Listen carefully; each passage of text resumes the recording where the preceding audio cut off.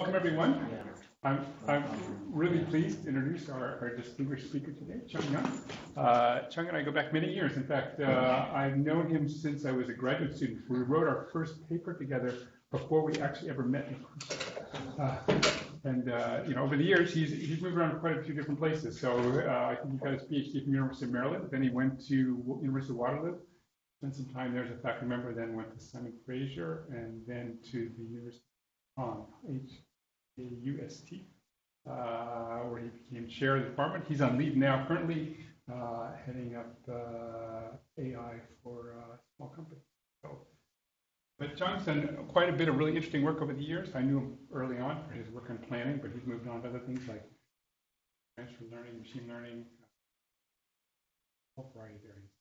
Anyway, he's done a lot of really interesting work, so I'm really pleased that he's going to tell us about, you know, what he's been thinking about lately in terms of uh, uh, privacy and data silos and AI. So uh, please welcome Qiang. Thank you, Craig.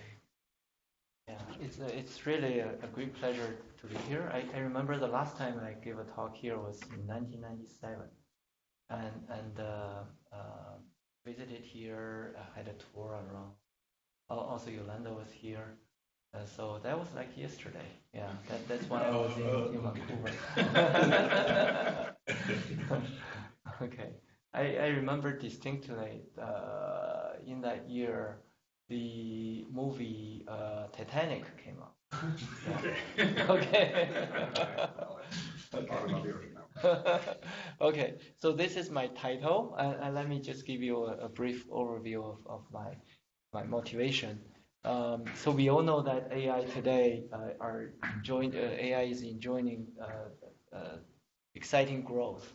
Um, but the, the growth is motivated partly by big data. So, so the, uh, the chart on, on the right shows the more data you have, the better the performance, and, and that's, uh, I think everybody agrees. Um, but the question is where to get the data. So, so this is my where my research is currently focused on. Uh, first of all, when we work in practice, we feel that there are uh, mostly small data, not necessarily big data. So by big data, we mean tens of millions of labeled examples like uh, ImageNet. Uh, but in uh, many applications, we, we don't have this luxury. Uh, the second problem is our data are usually fragmented in silos, uh, in different departments, in different organizations, different hospitals, and so it's, it's not so easy to integrate them. Uh, so that's why I'm working on these two things. One is called transfer learning, and another is called federated learning. Um, so to uh, back me up, there are some uh, facts. There are many facts uh, about small data. So, for example, in legal practice, people are collecting these uh, um, legal cases as training examples for machine learning but they can quickly find that uh, completed and, and good cases are very um, hard to come by. Uh, and so at most you can collect about 10,000 to 20,000 of them, hardly enough for training a, a good uh, deep learning system. In finance, it's, um, it's the same situation. Uh, in very large loan, um, the good examples are uh, very, very far uh, scarce. And in medical, it's, it's the same thing. Uh, medical imaging, hospitals usually they come in thousands rather than millions of, of uh, labeled examples. So therefore, we uh, try to look at transfer learning, um, and, and that's the Chinese for transfer learning. Uh, you can guess. Um, so we take uh, from human um, uh, example. Uh, so after we learn the um, uh, how to um, ride bicycle, we, we can more quickly learn how to ride a motorcycle. And the reason is because the, there are many features that are common between the two domains. So likewise, in machine learning, we try to do the same thing. And here we have um, an existing domain in blue and the new domain in red. And when we try to transfer, uh, we have several um, opportunities we can transfer through the, the source uh, to the target data. uh, we can we can transfer some samples, we can transfer part of the model, or we can transfer part of the task. Um, now, so but the the wisdom uh, that uh, people have uh, learned throughout recent years in uh, transfer learning practice is that if the source domain is very extensive in terms of the data size, then it's more likely to succeed when we transfer to different small data. And, and so here are some examples. Uh, first of all, when we when we try to transfer between models here from top down, from the source domain to the target domain, uh, there are opportunities when, when we deal with um, a structured model, such as a deep learning system. We can look at the, the model by layers. Uh, the input comes from the left, so it's, it's the lower layer. Uh, when we look at the lower layer, um, uh, in image domain at least, it's easier to transfer uh, than uh, the top layer because the top layers are closer to the task at hand. And usually different domains distinguish, uh, differ in the tasks, but not so much um, differ uh, in the lower uh, level representation. Um, so as, as such, we can formulate some kind of uh, transfer learning strategy by um, looking at the horizontal axis here are uh, the layers from the first layer to the seventh layer uh, corresponding to the uh, deep learning hierarchies. And the vertical axis corresponds to the effect of transfer. So the, the yellow line here shows that as we move higher and higher, each individual level uh, have different effectiveness and, and that decreases with the layer. And so uh, it's much easier to transfer when, when you are at the, the lower levels. And so we can use this um, as a uh, simulated annealing strategy when we um, when we uh, structure the, the transfer learning uh, from top down. We can allow most of the uh, layers at the bottom to be transferred to um, the target domain. But for top levels, we um, we only transfer a little bit, and and and the higher we go, the fewer we we uh, allow uh, knowledge to transfer, and that will result in the green line, which makes the the transferring more more successful as we uh, go along. So this is. Uh, this is the general intuition we have about transfer learning. Um, and in terms of the domains, we can uh, grossly classify in two categories. One is when we have uh, no labeled data in the target domain, and so we are uh, uh we have a source domain model, and we want to transfer uh, that model to um, uh, as much as possible, even when we don't have a labeled example in, in the target domain. The second one is we have some labeled example and, and we want to capitalize on that. So let's look at the first setting, and this is usually called domain adaptation. It is one we, uh, so this is often used in natural language processing. Um, so here I use an example in sentiment analysis, where uh, the goal is to classify this text into um, positive or, negative uh, orientation. Um, and the usual way to do this is to look at it as, as a um, text classification problem. Uh, and usually we can trace back to some sentiment words in the text which uh, are representative of positive or negative orientation. Uh, but here we are interested in cross-domain sentiment analysis. And the source domain may have a lot of labels and we can build a good uh, classifier. But in the target domain, we have no label.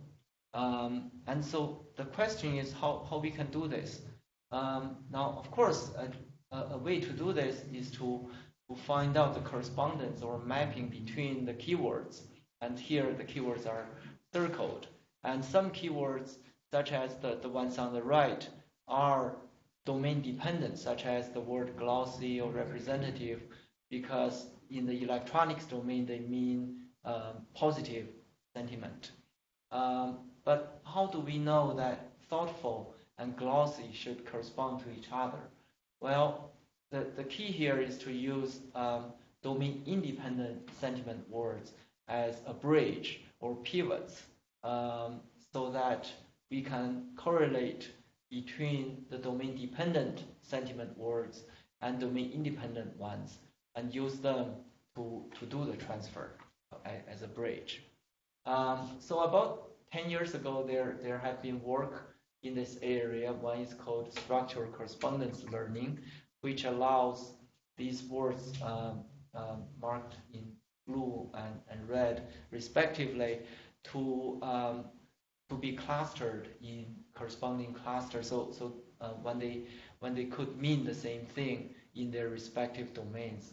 Um, so the idea is to find out these uh, correspondence uh, via the pivot words. Uh, and the pivot words here are engaging and thoughtful um, and, and so mean, means good. Okay.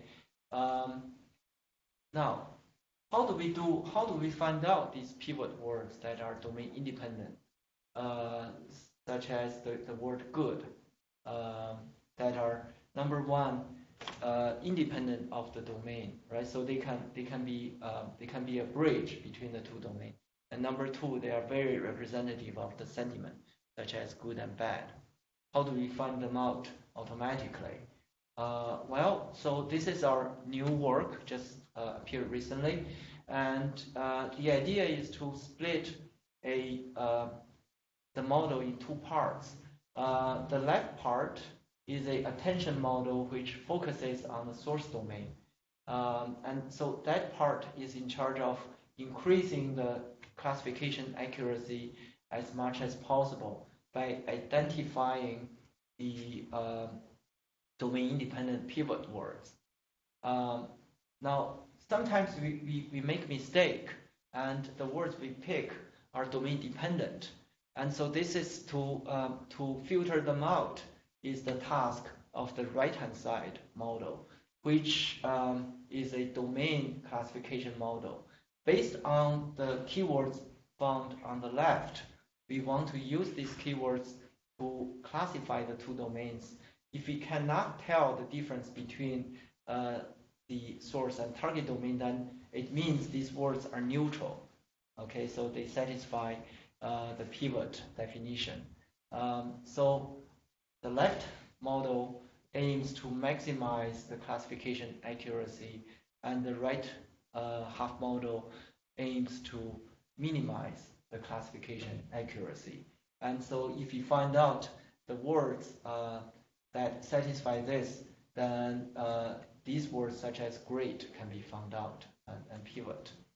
Um, and so here are some performance analysis which show that we can indeed uh, find out these pivot words automatically and they make sense uh, when we inspect them. So this is one example of how transfer learning is, is done when, when we, we have no labeled data in the target domain. Uh, a second example is, is here when um, a, Stanford uh, geology uh, team worked with World Bank in classifying satellite images in order to figure out the economic situation in Africa, uh, in order to determine their aid policy and, and so on. Um, but if we take the right-hand side photo, it's only a, a two-dimensional uh, colored photo. It doesn't give us any indication on the economic situation. Uh, so the key here is to, to use transfer learning to help uh, first classify according to night images because the light uh, is a first indicator of economic uh, wealth. And, um, and so the, um, the, the first transfer occurs between ImageNet, uh, the labeled images there, uh, and, and the transfer is to the night images, which gives, gives us a regression model which can uh, give a rough approximation to, to this uh, uh, classification based on light. And the second stage transfer occurs between the night image and the day image, uh, which can find out more features such as schools and bridges and highways, which are um, extra indicators of economic growth. Um, so combining these together, they report that their uh, two-stage transfer uh, works very well, um, and uh, as compared to the uh, field study. so this corresponds to a transitive transfer, which allows transfer learning to occur in a succession. Okay, um, and in finance, uh, transfer learning has also been successfully applied. Here, the situation is um, a bank tries to come up with a credit rating model for large loans. And so here you want to uh, build a um, embedding for, for the applicant, uh, embedding for, for the subject of the, uh, the loan. Um, and, and many situations such as um, you know the, the, the size of the loan prevents uh, the loan to occur very frequent. So maybe in a year the number of good cases is in the hundreds rather than in the millions. Uh, hardly enough to build a, a good picture um, of uh, uh, the application. Um, so um, these people apply transfer learning from small micro accounts, which uh, can happen quite a lot, like credit card uh, loans uh, can occur in the order of 100 million. And so this model is very stable and robust.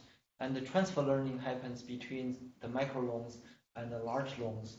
Um, so the result is a robust model which can um, help the uh, uh, increase the profit for, for the uh, for the bank. Uh, the second situation is uh, when we have some supervision in the target domain and this, super, this is applied to the dialog system.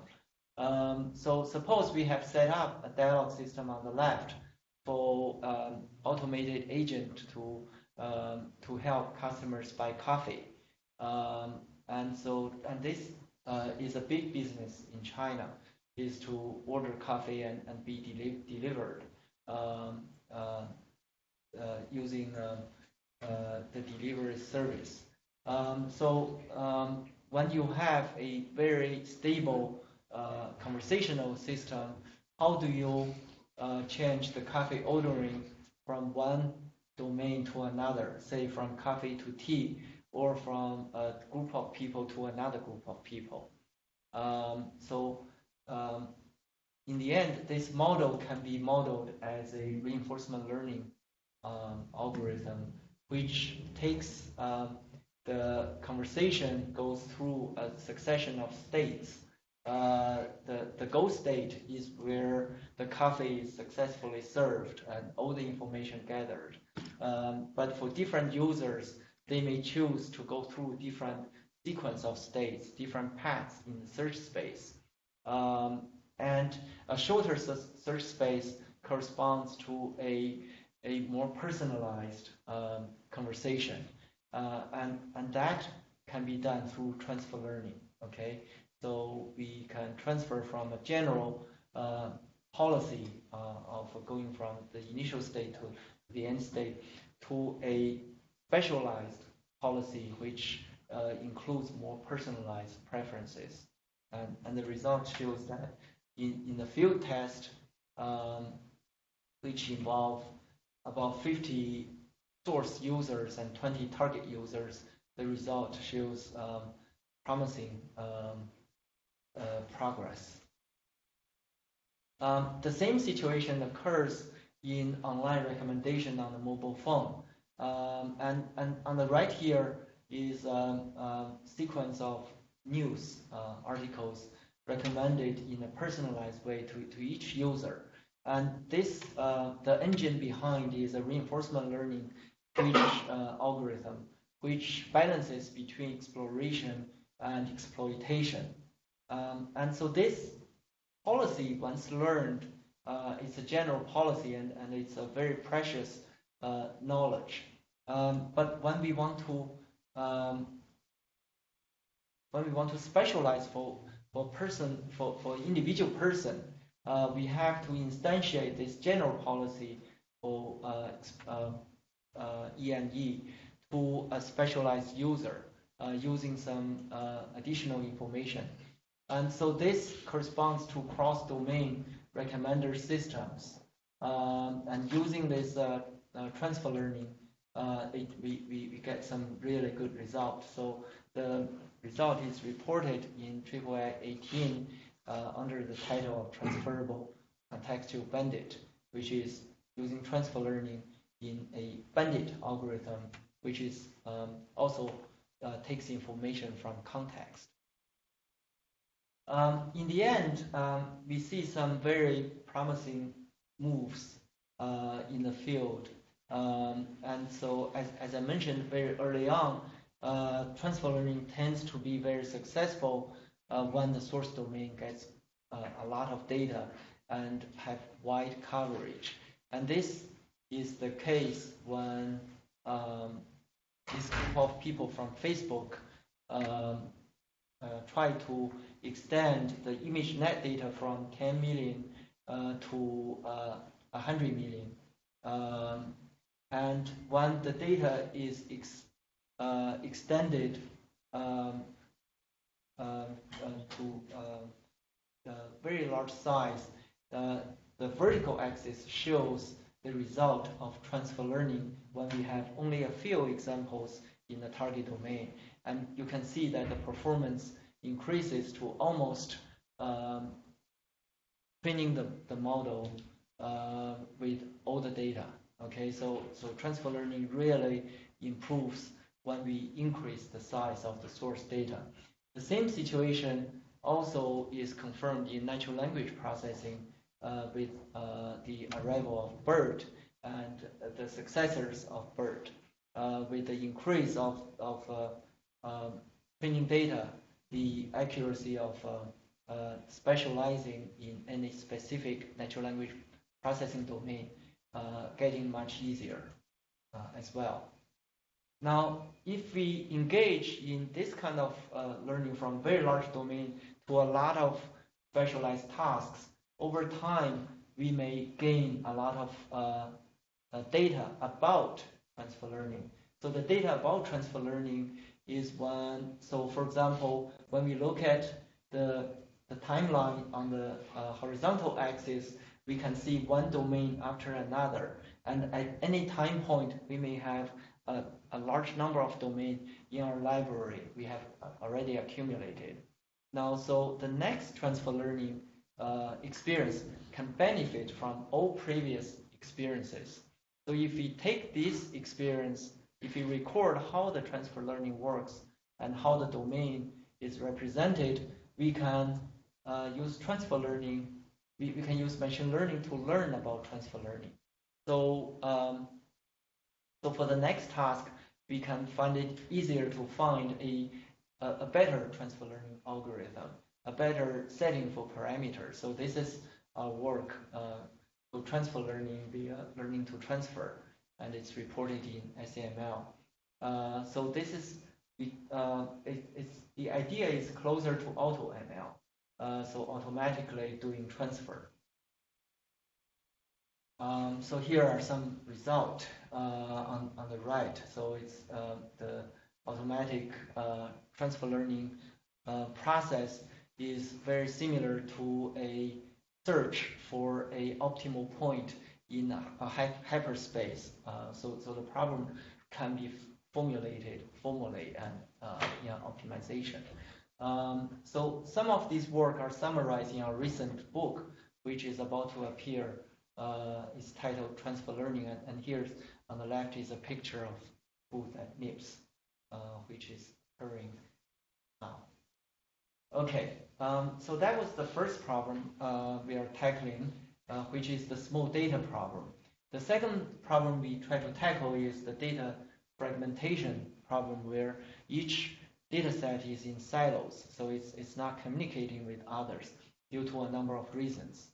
Um, the, there are many reasons, but recently everybody is aware of the regulation, uh, such as uh, you know the, the case with uh, Cambridge Analytica and Facebook and so on, and the European um, law which came out in May last year, um, which makes data sharing between parties uh, difficult, impossible, sometimes illegal or immoral.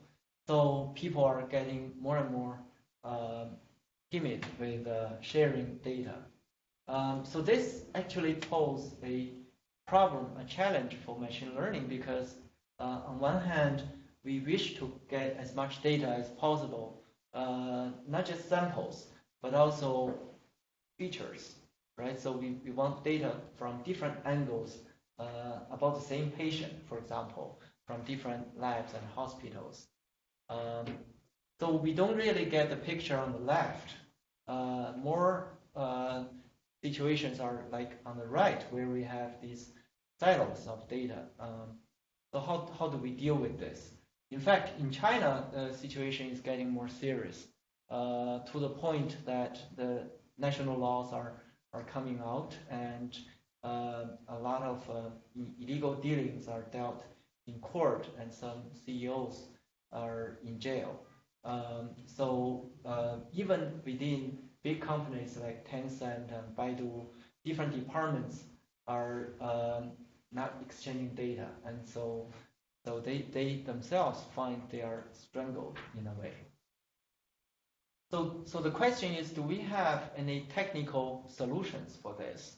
Um, is it possible for us to um, allow different enterprises to work together?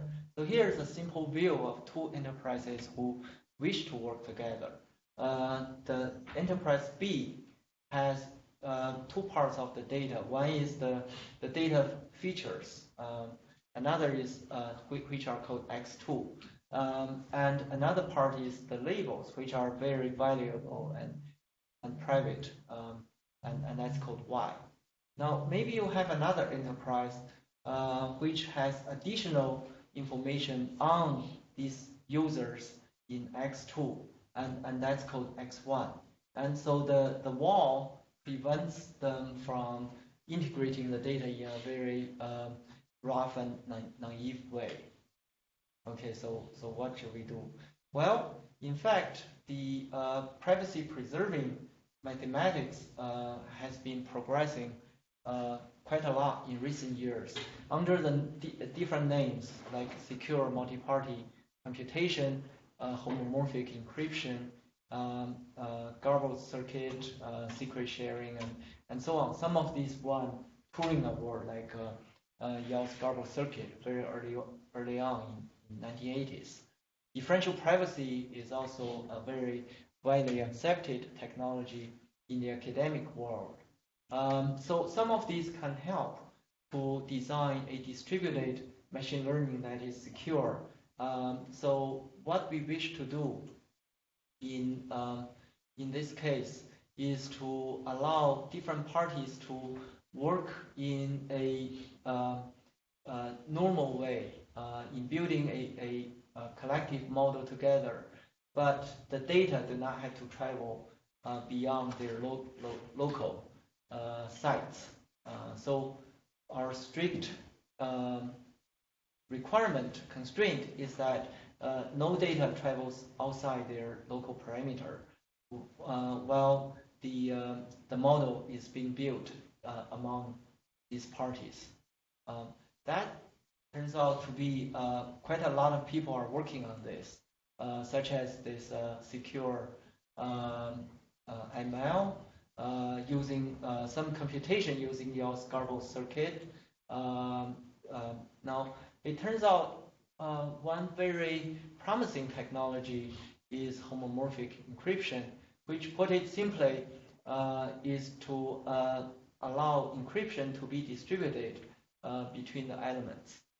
Uh, so if we have a addition u plus v, we can distribute the uh, encryption um, among u and v separately. and the result is, um, is um, performed on their encryption. Um, similarly for scalar multiplication. So this basically allows us to encrypt a com complicated formula and send the encryption to another party. And the other party, without knowing the content of U and V, uh, that is the data, uh, can perform some update on their model um, under the wrap of encryption without breaking the wrap, and then send the result back. Um, so this allows secret to be kept while operations to be performed. Okay, so, so that is good. So sometimes we, we are not so lucky as to have these uh, polynomial formulas, so um, we have trouble applying homomorphic encryption. In that case, we can use Taylor series to, to do the expansion, like in this logistic um, formula, which allows a um, piecewise linear approximation to the uh, uh, logistic function. So this can be done. Um, and sometimes uh, homomorphic encryption is not enough to prevent leaking of information between two parties. Like this, um, if two parties are collectively building uh, a image classifier, such as for this uh, letter O, then what happens is, uh, um, uh, you know, uh, by looking at the transaction record, one party can second guess the data from the other party and can still, um, if you have multiple transmission of parameters. So this tells us that we not only have to um, encrypt, um, not only um, uh, disallow data to travel out, we have to encrypt the parameters well. And we have to ensure that the parameters, uh, when arriving in a, a session, that all the data in that session do not reveal the data or the parameter of the other uh, model of the other party. Okay, so this gives us uh, two frameworks for, um, for uh, machine learning under the security. And this is known as federated machine learning or federated learning in short. And there are two categories. One is to uh, consider the data um, uh, from A and B have some overlap, and the overlap is um, is on, on the features. So vertically are features, um, and horizontally are displayed are samples or users. And this is the situation when uh, we have a, um, a, mobile phone company uh, with a server serving multiple phones. Each phone, um, different phones may share features, right? Um, but uh, each phone holds different samples, uh, and that's called horizontal. A vertical is more like uh, when two banks work together and they share uh, a lot of users or two hospitals, um, but the features do, do not share. Uh, so this is the, the vertical situation. Uh, so the horizontal is more like to C to consumer, and the vertical is like to business. So in the horizontal, um, the data are separated in different silos, and the division is by users. Um, but these different silos uh, have large overlaps over over features. In in this case, we can allow the two parties to work together in uh, um, in a federated learning manner by wrapping each other's uh, parameters such as uh, loss and gradient information under homomorphic encryption and send to the other to uh, engage in the next round of update. So we can we can design algorithms such as logistic regression, um, uh, deep learning use, using backpropagation, uh, and uh, decision forest. Um, so all these popular have been designed in one way or another. Um, now, in fact, um, Google was the first to apply this in the real world situation in, in a paper in 2018 on their uh, mobile keyboard prediction problem known, known as Gboard uh, between different parties. So this is the Gboard uh, framework where uh, in step A on the left, a phone uh, gets extra data. Uh, so instead of sending the data to the cloud for updating the Gboard model, um, uh, some local training happens on, on the model. So there's a local model, and that model can be encrypted, which gives the, the green uh, block. Now then, the encrypted model is uploaded to the cloud. Uh, so this gives the collection of, of models under uh, HE wrap, and, uh, and that's in step B. Uh, then these models participate in some kind of model update. Um, so that happens in the cloud, and the result is uh, known as federated aggregation. And the aggregated result is sent um, is C, and that's sent back distributed to all these phones to update their local models. So in the process, no data travels out, and the local models are protected. Uh, so the cloud does not have knowledge um, on the local models. Um, so that was the to C situation, to consumer situation. In the to business situation, we have like uh, a, maybe a, a retail uh, data set on the left and a bank data set on the right. Um, so the bank is interested in extending the features uh, using the, the red parts. And the retail is interested in getting knowledge on the why. um, so, so and which it doesn't have. Um, so how do we allow this uh, to happen under security? Um, so the, the first step is to figure out who are the users that are common between the two parties. And this can be done using homomorphic encryption to find out who's common between them without revealing who's not uh, common between the two parties. Uh, and once we find that out, we can engage in some kind of distributed model building uh, to build a local model A and a local model B. Uh, so when combined, these two models form the federated model on top. Uh, so this process happens in these four simple steps. Uh, first, you send the public keys and then you exchange uh, the intermediate results on each uh, respective um, enterprise uh, A and B, and uh, you compute the, the gradient and loss using the uh, information from local data and from the other party uh, under encryption. you update the models and you go back and do the same thing again by exchanging the intermediate results step two until until convergence. Okay, so um, um, so so uh, this happens in training, but in inference time, this process can be repeated. When new user arrives, um, you have a process to check if the the, the new user um, uh, satisfy the requirement uh, as well as um, can get the uh, result from party A and party B under encryption and finally combine the result in inference time.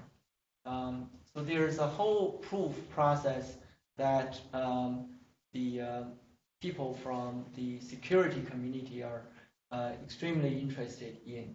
Um, so we have to prove that if we involve a third party C as a coordinator, uh, the security against um, the party C holds. Um, uh, even though we do not have a coordinator, uh, the information exchange is between A and B. We, we want to make sure that the security against each other holds, and, and all these have to be uh, given positive proofs. Um, similarly, researchers have uh, extended uh, this federated learning to multitask learning as well uh, by splitting this uh, objective function into multiple parties and figure out how to how they can collectively use a commonly shared knowledge uh, which they can find out without revealing their private data and parameter to each other.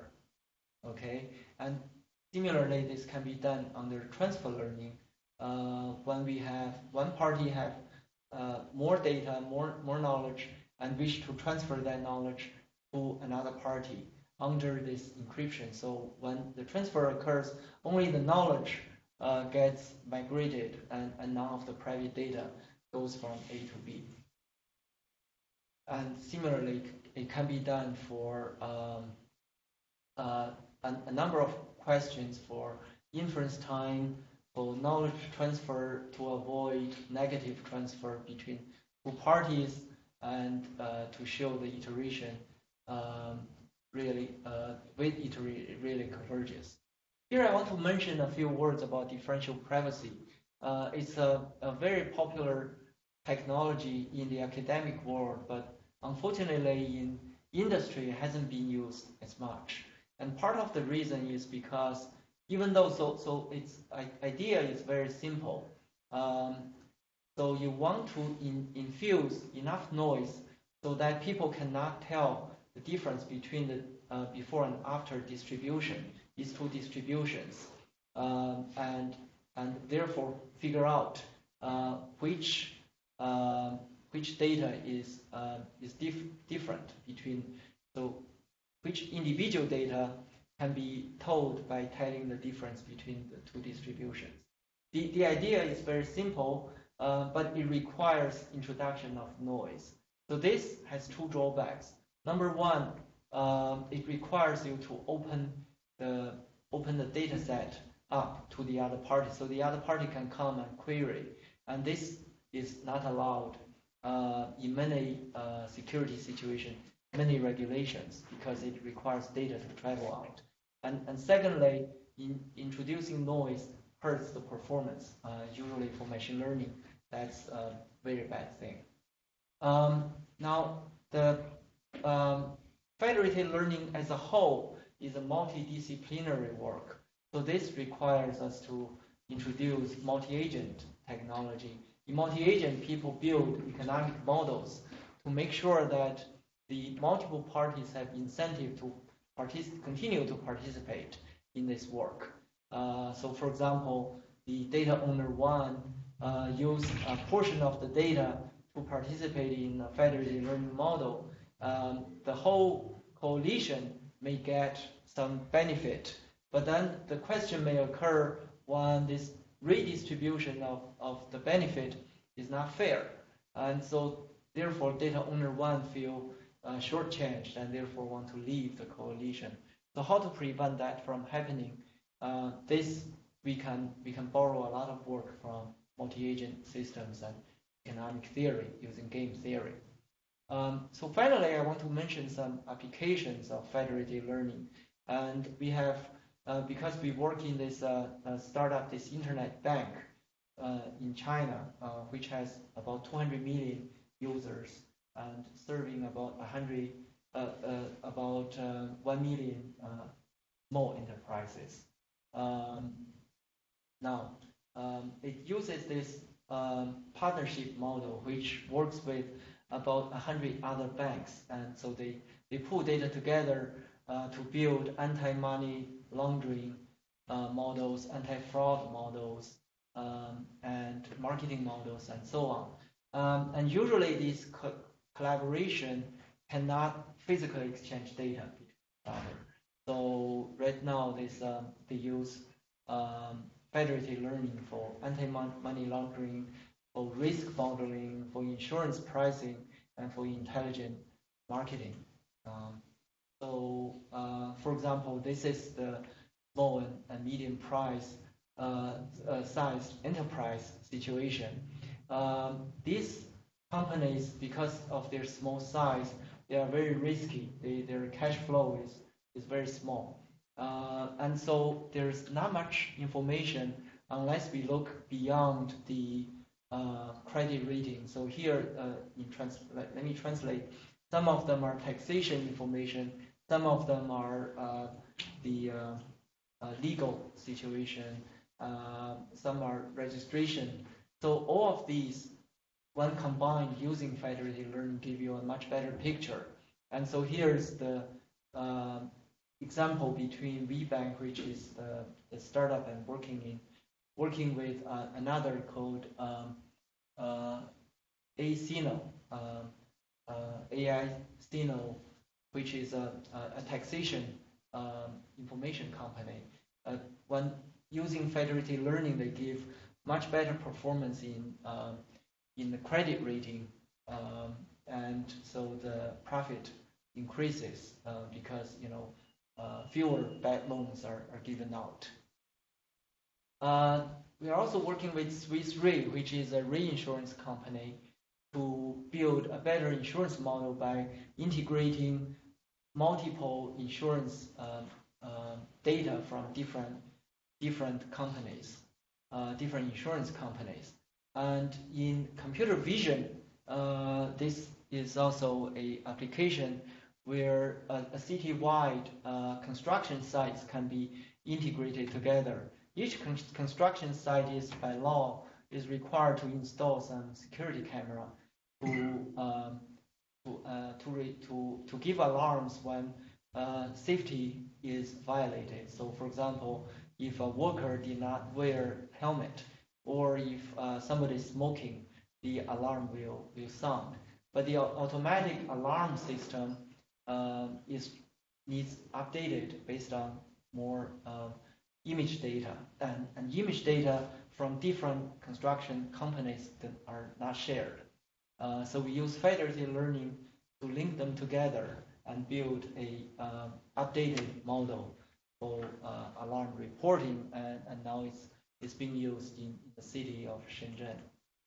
Um, so in the end, we, we hope to build this uh, ecosystem using federated learning. So different parties, uh, including uh, like uh, uh, universities and um, uh, internet companies and, and, finance companies, can all work together, medical and, and, so on. Um, so we are also leading um, team of companies in building a IEEE standard uh, for federated learning, as well as working with Linux. Uh, our system is called FATE, uh, Federated uh, Architecture for um, Technology Enabler. Uh, so the whole whole name acronym is FATE, and and it's already uh, on Linux Foundation platform as a open source software. It's the first open source for um, federated learning. Um, of course, there are uh, federated learning is just starting, uh, so there's a lot of challenges. One challenge is security challenge. Is what if one party uh, maliciously uh, designs its own data in order to um, to cheat the system and um, to so, so, that the federated model is in favor of uh, of this malicious party, or uh, can uh, poison the data somewhat in order to uh, second guess other parties' data. So all of these are possible. currently, there are some solutions against them, but more work are required. Okay. Uh, finally, we are uh, publishing a book with uh, Morgan Claypool on federated learning. It's, it's, coming out very soon. so let me summarize. summarize. So in this talk, I, I, I talked about transfer learning and, and, federated learning. So transfer learning is um, for tackling the small data challenge, and federated learning uh, is for tackling the data fragmentation challenge. Uh, and all these work are uh, at the beginning stage. Uh, of course, uh, welcome everybody who join in and contribute. Okay, so that's all.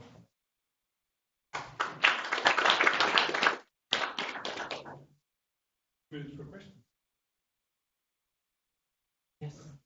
So these federated learning settings, can they achieve the same performance as a centralized system? Uh, it's a little lower, yeah, uh, because of the older approximation and so on. Um, so people are trying to get closer and closer. It depends on a, a balance between security, uh, trade-off between security and performance question in terms of how it actually works. You said it sends an encrypted model. That encrypted model, I assume someone can't read it, but you can still apply it. That's right. So it's still yeah. something that can actually be applied. You just can't see what, how it exactly. Right. Right. That's the idea. So it's it's like a wrapped package, and so without without uh, opening the package, you can you can add uh, that package to the, the uh, aggregation. And on one of your slides, it had some phrases at the bottom you didn't mention, that was a semi-honest, uh, Yes. what does- what does that mean? What is semi-honest? Semi-honest means uh, honest but can be curious. Uh, Oh, Yeah. So, So not malicious, basically, not non-malicious. Non-malicious, right? So it's a normal situation. If you work with another party, that party may have one individual who's uh, just curious speaking to your case. Whereas the issue with unhonest or malicious parties is that somehow they can subvert the system by setting in some kind of malicious Exactly. data or something. Exactly. To